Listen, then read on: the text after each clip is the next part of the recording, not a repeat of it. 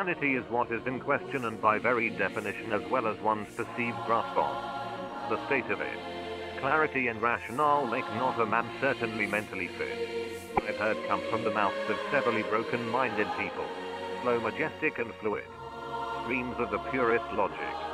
Blood-stained hands that practiced evil without permission or motivation have penned lines of exploration of great care and benefit to entire populations and all human progress.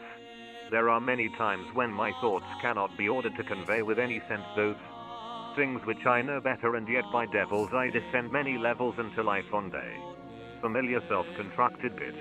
I've know of cures that can only come about from people judged to be the sick. And I've seen wonder flash in the eyes of people who never move from a dock and silent. I've watched their tears make winding tracks down their faces as they at once come out from under it insanity, repetitive by nature. Although it appears as random, chaotic outpourings of emotional instability to many, trained observers, it is often as predictable as it is unpredictable. It isn't wise to turn your back on a beloved brother, much less on a weapon wild inhuman.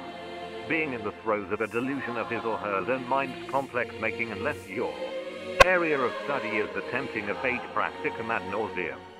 In our collective shift from third phase protocols to fourth phase protocols, we need to take some time to reflect on our achievements, dissect our missteps, revise our action plans, and reorient ourselves with the basics of our profession.